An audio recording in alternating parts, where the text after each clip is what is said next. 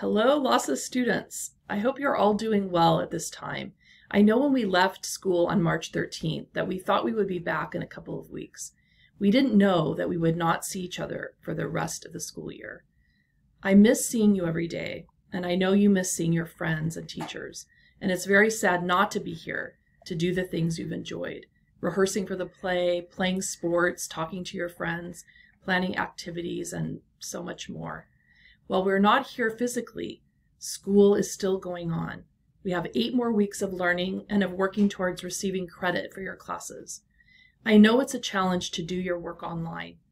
We are working to make sure each student has a computer and internet access, and we're still working on that. You may have several families trying to work online, the internet may be slow. It's hard to know what is expected of you from each of your teachers. There may be other problems you're facing as a family with maybe a loss of a job, and you may have to help your brothers and sisters with their learning too. I know it isn't easy, but I don't want you to give up. Please do what you can, and I, along with your teachers, are here to support you. You can email Miss Lopez, Miss Goodwin, Miss Ruiz, or any of your teachers if you need more support. All of your teachers are working hard to plan lessons for you and to make sure you keep on learning. Please check Schoology each day to see what your assignments are and participate in Zoom meetings, Google Classroom, or other platforms your teachers are using.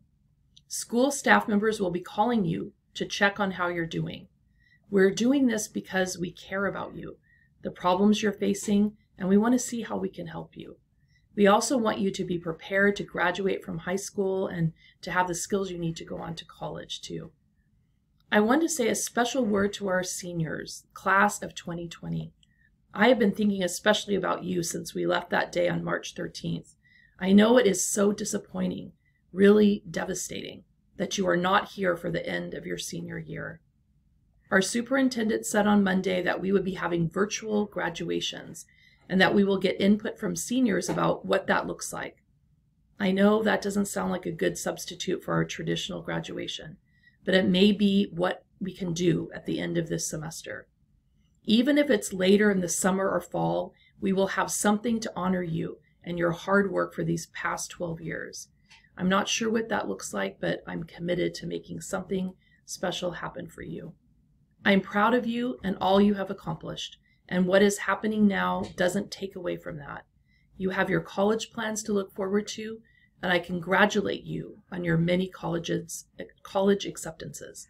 Take care and please keep learning and doing what you can to continue your, your education.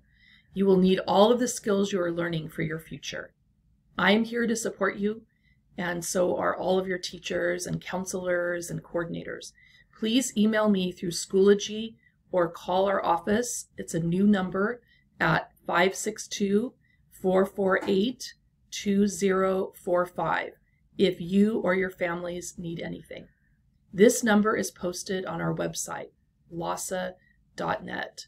Please take care of your health. Make sure you're practicing the social distancing and washing hands and um, just taking care of each other, wearing masks in public, and doing all you can to stay safe and I look forward to the time that we can all be together again.